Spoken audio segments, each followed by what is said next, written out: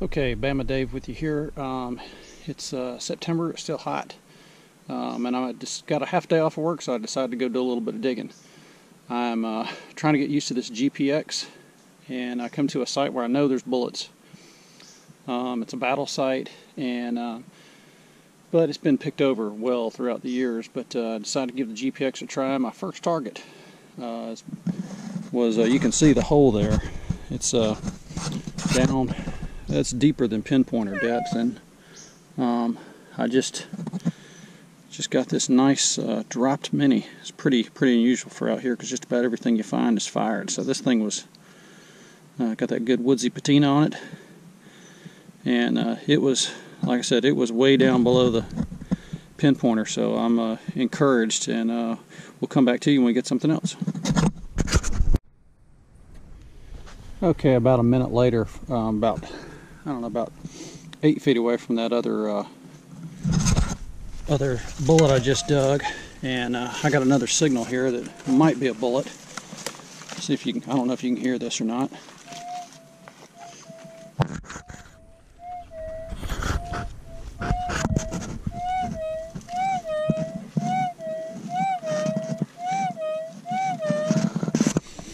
So I'm not sure what it is. I'm going to try a live dig and we'll see together. Uh, it could be, of course, it could be, um, you know, just a piece of iron that hasn't broken, but uh, we'll see if we can figure out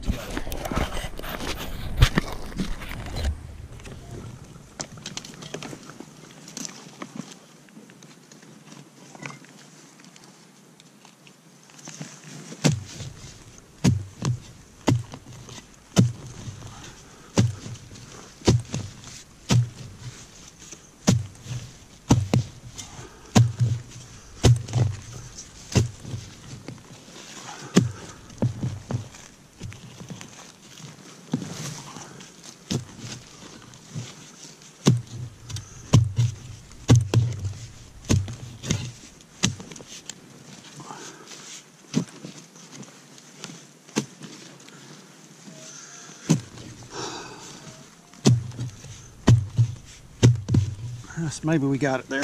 Let's try.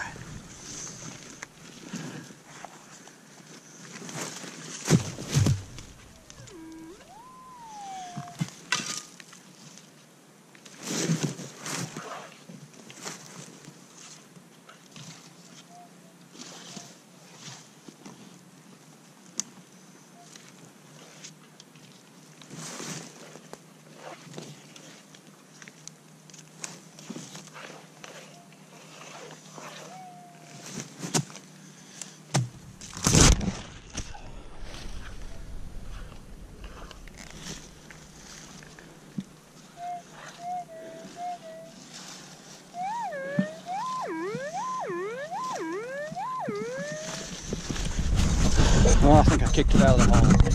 See if I can find it. Come back. Well, I did kick it out of the hole, and that's what you get for doing a live dig. It was a piece of fired buckshot, so.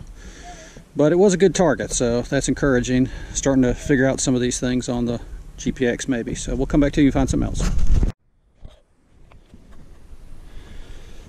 Okay, uh, it's been a couple minutes, and I passed over some of these little high tones. It turned out to be um, buckshot and kind of but I got a little low tone here that's just a kind of one of those whispers. I don't know if you can hear this but when I go over.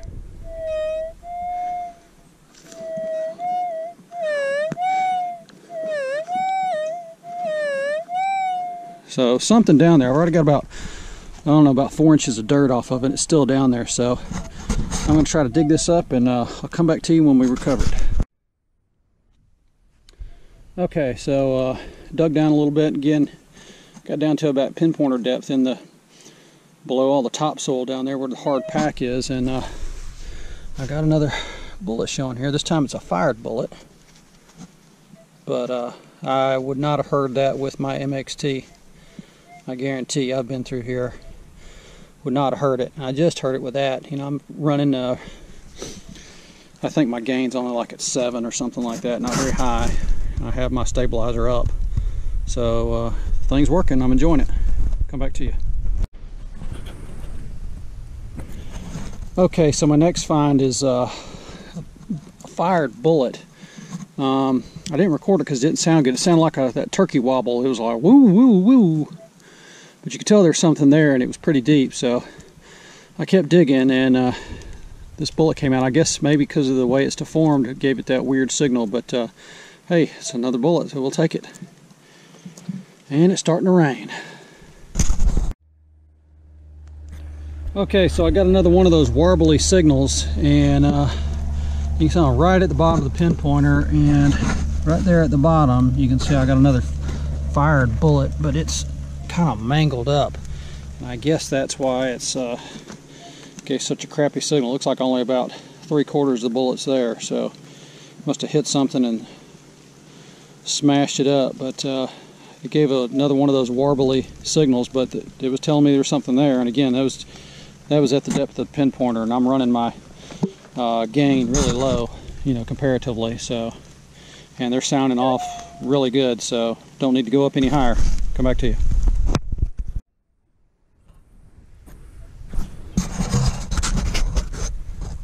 okay well this signal was screaming it was right on top of the sounded like it was right on the surface uh, it's so loud I'm sure I would have heard it with MXT we probably just missed it but uh, Let's see if you can hear this thing now that's out of the hole. It's pretty daggone loud. It's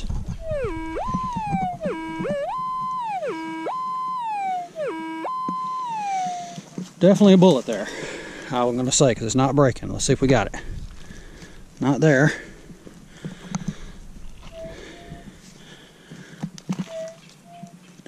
Where are you? It's here somewhere.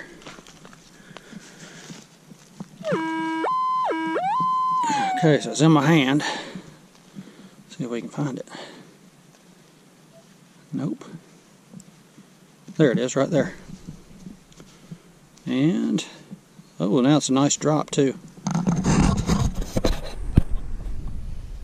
It's a nice, uh, nice dropped three ringer. Now it's been pulled. Yeah, you can see right on the end it's been pulled there, but still that's a really nice find really good shape. Looks like a Williams regulation, I think. So that's a great find. Nice shape too. Nice pulled bullet. Take that and keep going. Come back to you. Okay, so my next uh, target sounded really great. I mean, the classic bullet signal, and uh, I got it out about I don't know about eight inches down. It's a, a uh, looks to be a fired Enfield. So it looks to be about 54 caliber. It's a little mangled up, but uh, you can def. Oh, there's the thunder. I think we're fixing to call this one.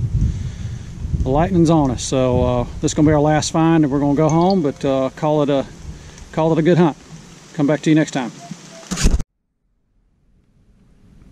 Okay, quick wrap up of the hunt today. I got uh, I was finding stuff and uh, hated to go, but uh, the thunder and lightning started, and the the sky opened up on me. But let's go ahead and start from right to left.